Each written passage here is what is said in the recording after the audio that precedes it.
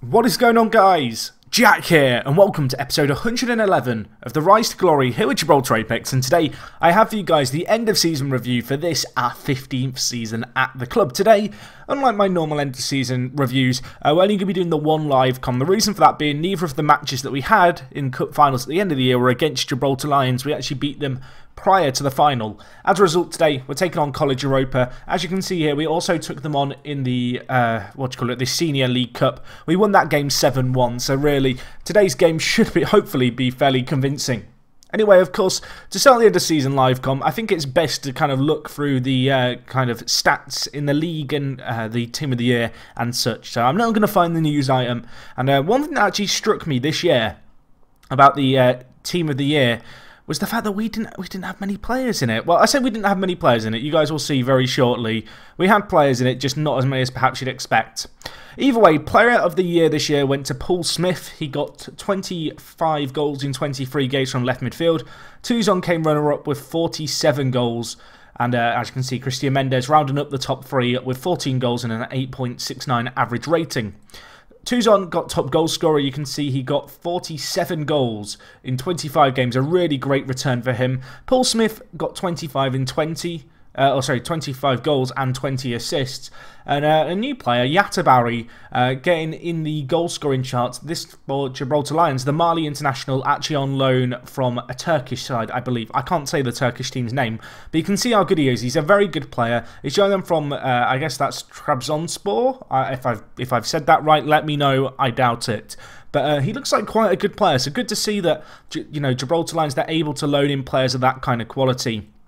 Anyway, Young Player of the Year actually went to a player we sold this year, Annabel Perez, who we let go to Gibraltar Lions. He's had a very good first year at the club. Not entirely surprised by that. I thought he was a very good player with some potential. Unfortunately, he was just never going to get the game time at us. I do feel like this year, one of the reasons perhaps we don't have the uh, Young Player of the Year and the uh, kind of Team of the Year dominated by our team is just because of how much I've rotated the squad. When we go over the squad shortly, you'll see that uh, this year I have rotated the team a lot. There's not many teams who have played above kind of 20 league games for us. As a result, perhaps a little bit harder for players to break into the side. You can see we only have five players in the team the year, but Ludwig Young in goal, Frigier, Mendes, Paul Smith, Tuzon. Kind of to be expected, really. You can see Smith dedicated his award to us for the Player of the Year. And you can see here, um, Smith, He's not been playing for Australia, which I think is absolutely mental. Uh, he's been out of the squad for a little while now. I think it's something like three years. I'm really hoping he is going to get a chance to play for Australia. It's ludicrous he isn't, but it is making him slightly hungry for that move away from the club, the prospect of perhaps uh, having a better chance to play for Australia. Anyway, before we get into the game, I feel like it's a good chance to have a look through the team. So we'll start by looking at the goal scorers. You can see Tuzon 73 goals he finished with. Absolutely mad. He got 47 in the league this year, which surpassed his previous record and the league record for last year of 46 goals. He actually got 73 in all competitions. Last year he got 62 in all competitions. I mean, not a bad return for him. 135 goals over the last two years. I'm pretty sure most players would be fairly happy with that. Paul Smith getting runner-up. You can see Van Dijk got 27 goals for us, but he only played 18 games, of course, was out for three to four months with a fractured skull earlier on in the year. That definitely played into that and just a lack of first-team football. And perhaps another reason why Van Dijk didn't play quite so much was because of the emergence of Nick Austin this year, another Australian. Very good player, this guy. The young forward, um, just been a great talent for us. He's been very good. I mean, we bought him a few years ago and I loaned him for, to Gibraltar Lions at the time, and he played fairly well for them last year. I decided to give him a lot of chances this year, and he has developed as a result. All in all, I think he's going to be a very good forward for us in the future. One thing I really dislike about him, and I'm trying to kind of train it out of him, is the preferred move looks for the pass rather than attempting to score. Don't know how he got that trait. I really wish he didn't have it. And as I said, yeah, we're trying to get that tutored out of him if we can. But he's a very good player, and despite looking for the pass, he did get 24 goals in all competitions, so still confident in his own ability to shoot. Christian Mendes, the right midfielder, ended up with 21 goals and 26 assists. He had a very good year, the Colombian. And uh, another player who wasn't playing at us this year, but of course we signed in January, a club record fee of £6 million, I believe, Mosca. Uh, he's, of course, on loan at Vasco. You can see uh, he's improved a little bit, not perhaps as much as I was hoping for. He's still got time to develop. He's still got another six months of his loan in Brazil. You can see he's got 10 goals in 17 games last year. Uh, the season, oh, sorry, this year, I forget that the Brazilian season kind of runs from January till November time. You can see that during his second spell, second half of his loan after January of this year. Wait, how does this work? It's really confusing, isn't it? Because you can see actually um, these were the stats before we signed him. He scored 16 in 32. We then bought him and loaned them back to him, but it was in the same year. And he got 10 goals in 17. That's weird. It's weird how it split them up. But that was the same year. But you can see this year started in a similar vein of form, still scoring lots of goals. Hopefully that will kind of continue over when he comes to us. Either way, if we look on the assist charts, Paul Smith and Christian Mendes up there. Graphite had a fantastic second half to the season. 19 assists for a player who we signed in January. A fantastic return for him. 14 assists in 10 games. Been a, a very good player for us, of course. Brought him in on a free to replace Marquez, and he's looking like an inspired signing right now. A player who I definitely think has a long term future at the club. Joey Bouchard also up there. He doesn't ever get as many assists as I think he perhaps should, the young Canadian playing in that deep line playmaker role. And well, I say young Canadian now, of course, he is now 26. This is his eighth season at the club, which is absolutely kind of crazy to see. You can see this year, four assists and two goals, a little bit lower than previous years, but actually an improvement in terms of his average ratings on last year. And well, it's difficult to fault a player who has an average career rating of 8.08 with over 100 assists. Really hope to keep it for a long, long time, Joe Bouchard. Of course, he's got a contract that runs out in 2034, so in four years' time. But we have got the optional contract extension of three years, and that is a similar deal, of course, with Paul Smith. Either way, Jason Hall also worth perhaps a little mention. 11 assists for him, been out for a long term, uh, long time with a torn calf, calf muscle. The fullback's physicals really have declined as a result. I'm hoping he's going to come back stronger from the injury, but it is going to hurt his development.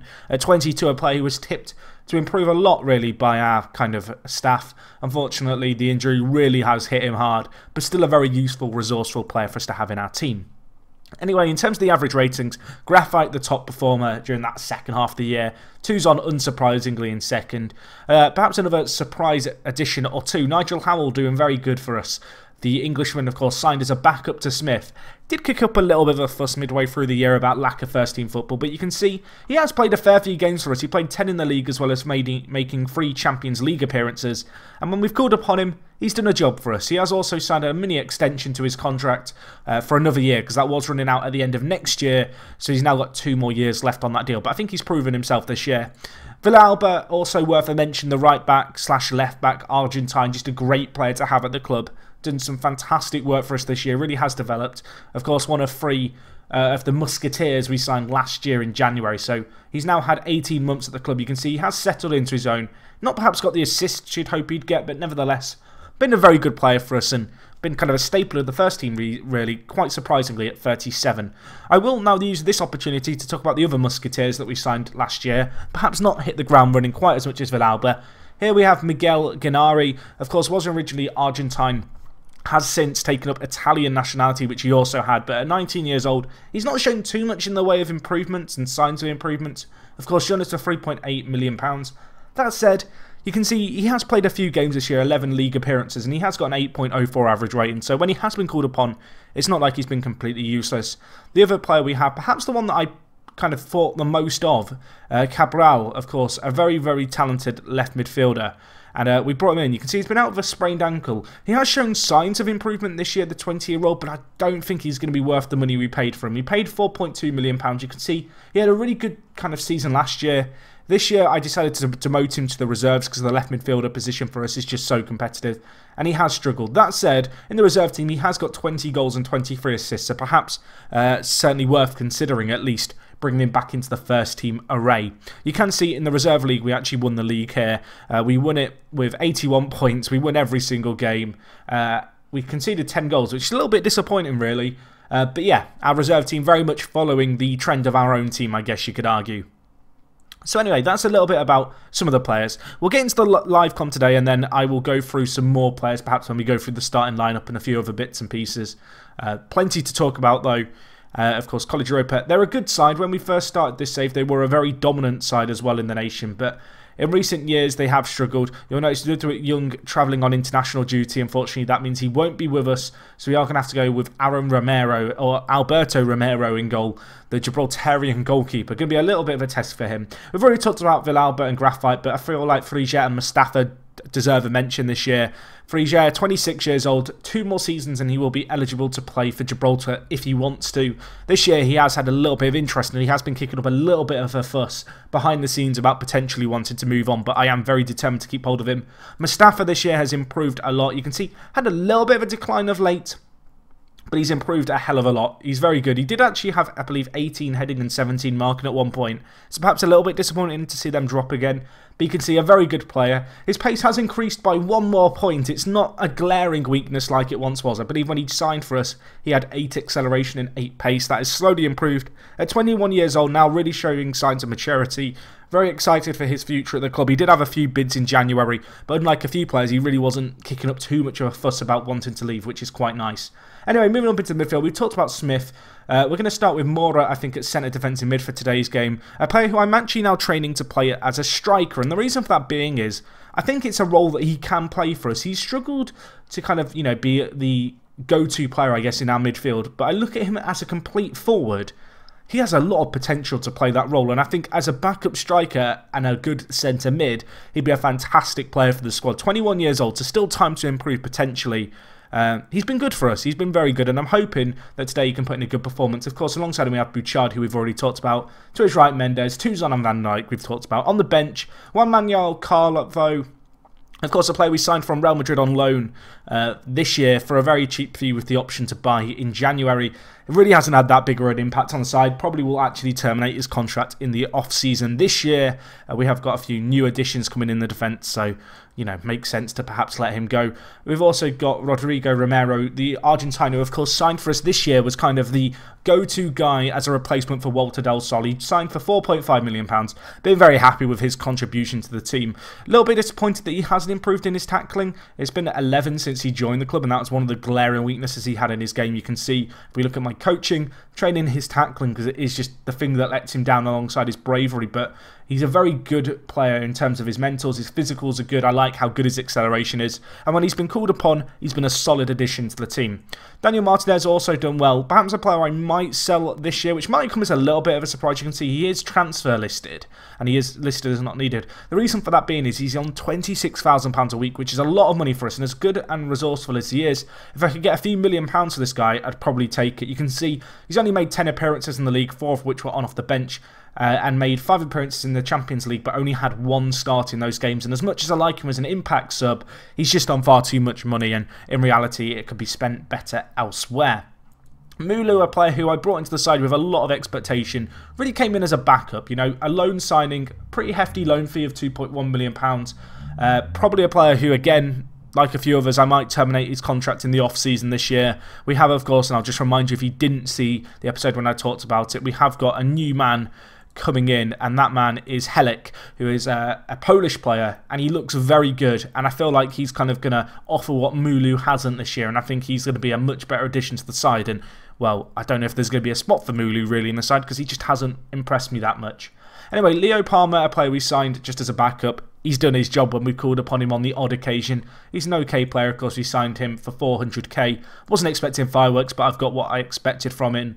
And uh, yeah, we'll go through a few more players after their game. Let's get into it. We're taking on College Europa. Going to be sticking with a 4-4-2 attack. You can see they are going to play a 4-5-1. We beat them in the Senior League Cup final. I'm hoping we can now mimic that in the Rock Cup final. I'm a little bit excited to see at the end of this game just kind of what we're going to have in the way of um, prize money for the Rock Cup because it's a competition that has been raising and rising in reputation over the last few years. And well, it'd be kind of interesting to see how much prize money there's going to be now. I believe last year it was a few hundred thousand pounds. I wonder if we'll break the million pound mark this year. Anyway, I'm going to use this episode and this match as just a little bit of a backdrop, I guess, to talk about a few other things going on at the club. We should win this very convincingly. Of course, if we score any crazy goals or when we do score, I will, of course, acknowledge it. And can we score from kickoff? Mendes, back post, Tuzon's there. 1 0 after 50 seconds. It's the perfect start. Tuzon, 74th goal of the season. Could he get 75, if not more? That's got to be the dream today.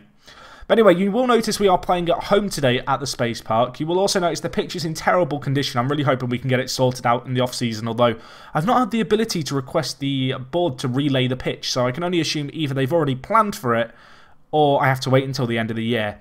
But in terms of the Space Park, the average attendances this year, they've been pretty solid. You know, in Europe, it's been a sellout pretty much every time. You know, we've been filling it up with 13,000 fans. When the international teams use the stadium again, filling it up. I believe in the Senior League Cup, we were averaging an attendance of about 6,500. And in the Primera Division, we were averaging an attendance in the region of 8,000 fans. So we're not selling out every week. But when we take on the likes of Gibraltar Lions and when we play in Europe in these massive matches, then it is a sellout. And that's pretty good. And that's all I can really expect. Of course, we are the only club, and I, in case you didn't know, we are still the only club who have our own ground now in Gibraltar. The rest of the sides all still playing at the Victoria Stadium. We are now 3 0 up after 10 minutes. It's all already going pretty well this game. You see the Gibraltar Apex fans, they are loving it. The ball in, Van Dijk with a flick on, and well, Smith missed the initial effort. It was actually a really good save, but the rebound is buried home.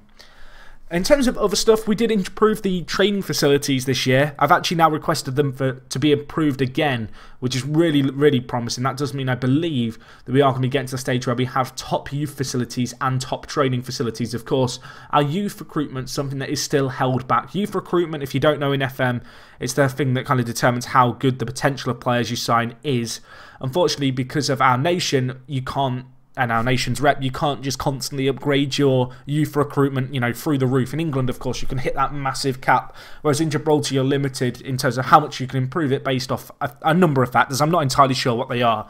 It's something that we've not been able to improve in, well, almost a decade now. I'm hoping we're slowly going to get towards the part where we can improve the youth recruitment that little bit more. I think that'd be a nice thing to at least try and do. So that's something to look forward to as we do now make it 4 0. Van Dijk just got a great little goal as well while I was rambling on there. So yeah, the youth facilities and training facilities are coming good. In terms of our coaching setup, that's still really, really strong. Uh, can't argue one bit with kind of the coaching setup we have. We did actually lose one of our coaches, and to be honest, he was one of our backup coaches. He went to Lincoln City to become a manager, which was kind of interesting this year. I'm hoping that's not going to be too big of a problem. Of course, I mentioned in January how we had a lot of players kind of interested in leaving. And uh, I'm quite confident I can keep hold of the key players just because of how long their contracts are. You know, I can very much dig my heels in and say, no, you're not leaving with the likes of Bouchard and Smith on seven year contracts, basically, because of the optional contract extension. When it comes to my coaching staff, however, that could become a little bit more problematic. In truth, I've not really looked too much into my co coaching setup over the last few years. I kind of had it set up, well, you know, four or five years ago now. I've just renewed the contracts of my coaches, physios, and then looked for replacements if certain kind of members of staff retire. But all in all, you know, the coaching setup is as good as we can really expect it to be. That said, it probably is overdue a little bit for revamp, and perhaps this summer will provide an opportunity for me to bring in some new players. As Van Dijk out wide, can he get the ball in? Graphite, lots of assists this year. He gets another. Paul Smith at the back post makes it 5 0, and it's not even half time, and it's going, it's going pretty well this game. So yeah, that's a little bit more about what's going on at the club. I'm kind of using this opportunity now to fill you in on lots of little details you might have missed. Um, oh, a transfer budget for the year was set. We have a, a, fairly healthy wage budget. We've got a few hundred thousand pounds to spend if we want to spend it. Ultimately, we probably won't. Uh, but our transfer budget this year is in the region of just over £10 million.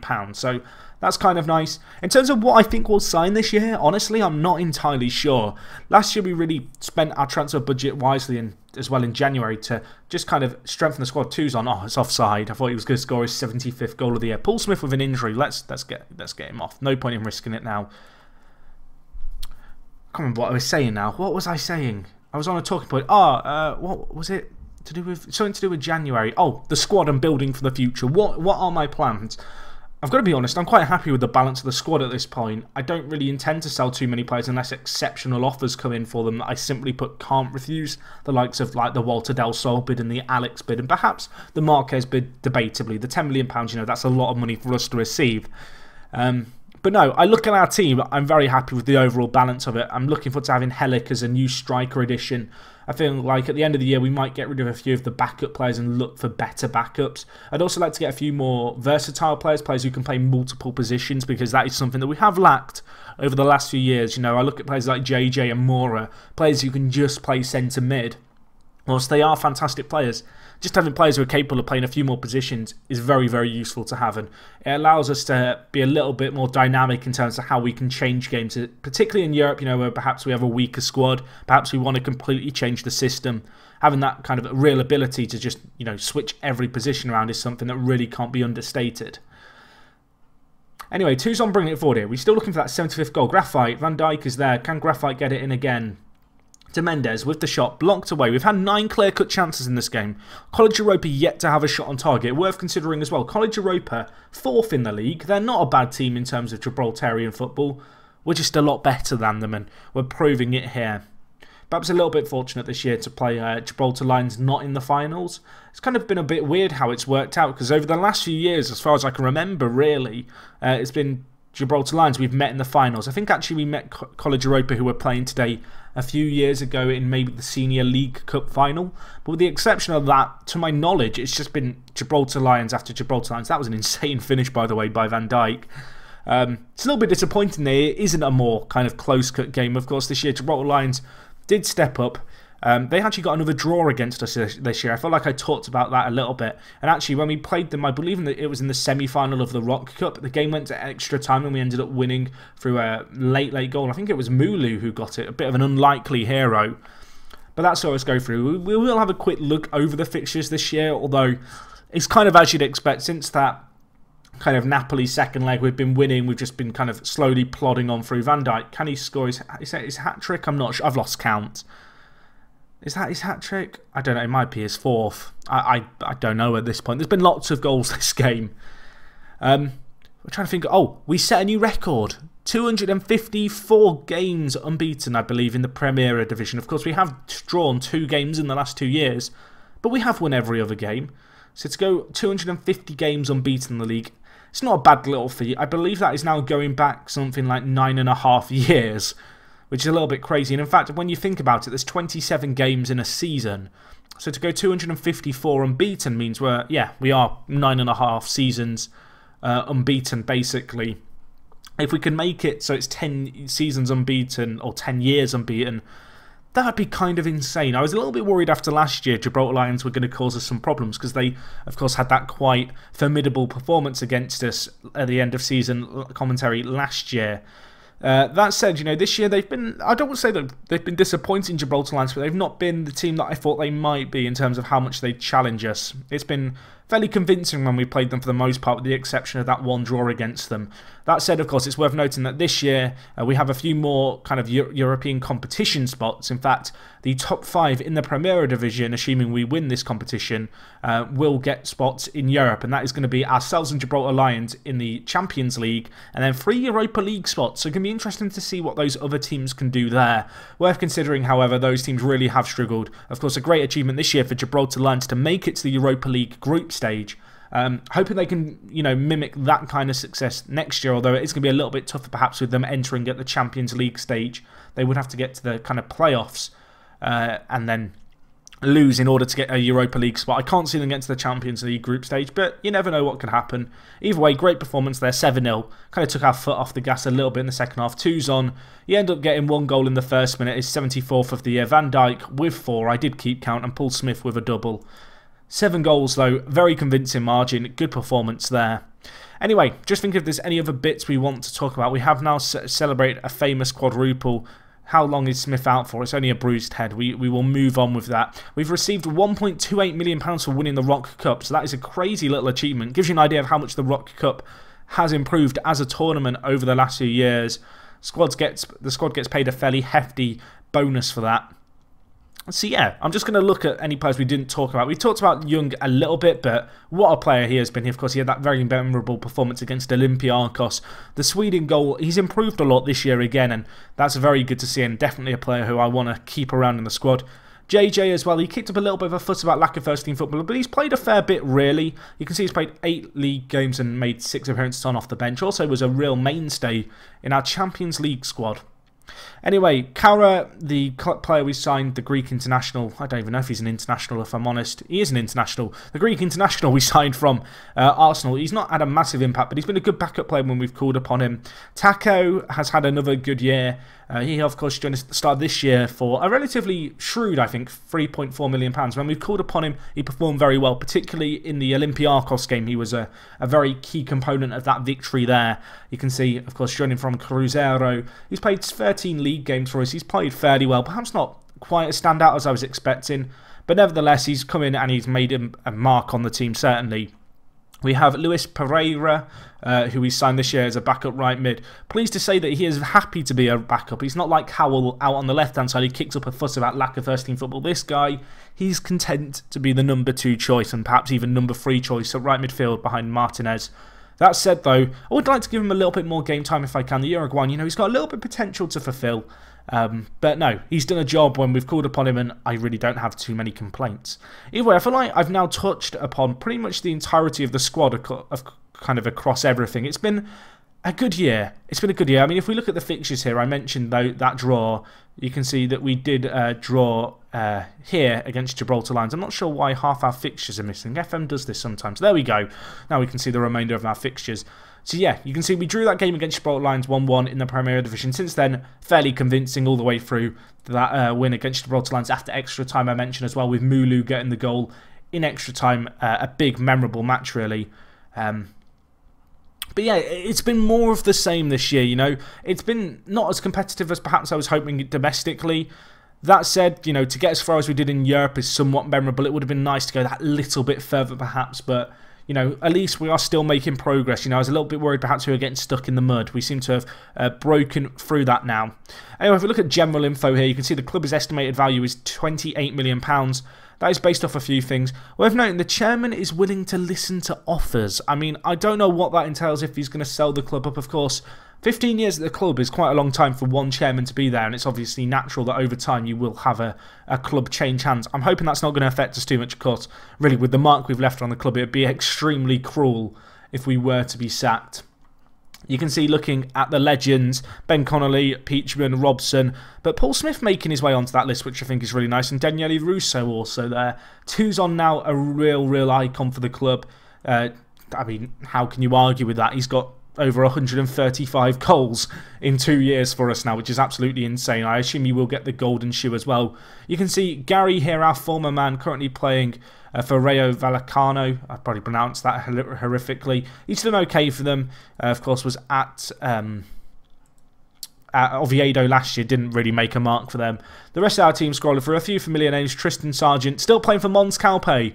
I mean, what a player this guy was for us initially in this save. It's kind of cool to see players who started with us at the club at a very young age, still playing football now. And actually, he has staff attributes. That is kind of tempting to try and sign him as a scout, one of our icons. That would actually be a really, a really awesome thing if we could get him in, and we probably can get him in as well as a coach. He has no interest in the job, but I'm willing to give him a very good wage just to have a legend come back to the club. He really wants to be a scout, but we don't. We can't have any more scouts. We're already over budget on scouts, apparently you know what, we'll try and sign him if, if, it probably won't go through. But we tried.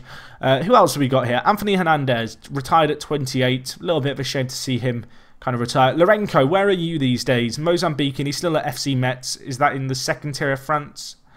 In fact, uh, no, he's been promoted. I, I, forgot actually he was at Angers and then he moved to Metz. I didn't even realise he'd moved to Metz. You can see he actually moved on a free transfer He's only made three appearances for them. Never never lived up to the potential he had if he'd stayed at us. McVitie, where are you, my son? You're at Brentford.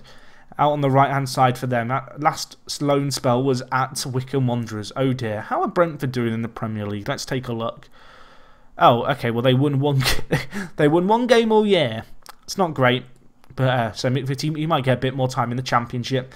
Looking at favourite personnel, Oakley, a player I'd love to sign again, but he's playing quite a lot for Arsenal, quite a lot off the bench. Maybe a player we'll, we'll look to sign one day. I feel like he, he had such a massive impact on the club over the two years. Similar in a lot of ways to Daniele Russo, that it'd be quite nice if we could sign him back. Ramon, of course, a player played for us for only one year and we sold him on. He's still plying his trade for Fenerbahce. Of course, we sold him for £4.5 million a few years ago now. Ian Cook is still in our reserves. Jer, where are you, my friend? You are Borussia Mönchengladbach still. How, how are you getting on for them? 8 goals in 30. It's not great. You're worth £18 million. I'd love to sign some of these players back. They're so good. And uh, last player we'll look at, Mark Stewart here. Uh, former man, currently playing for Huddersfield. Anyway, if we just have a quick look at the history of the club, you can see we've now won 14 Primera Divisions, 12 Rock Cups, 1 Segunda Division, 13 Pepe Reyes Cups, 9 Gibraltarian Senior League Cups if we uh, look at the competitions, you can see them all listed here by year. I mean, if you want to pause and eye over that, feel free to. We've achieved a lot at this club already.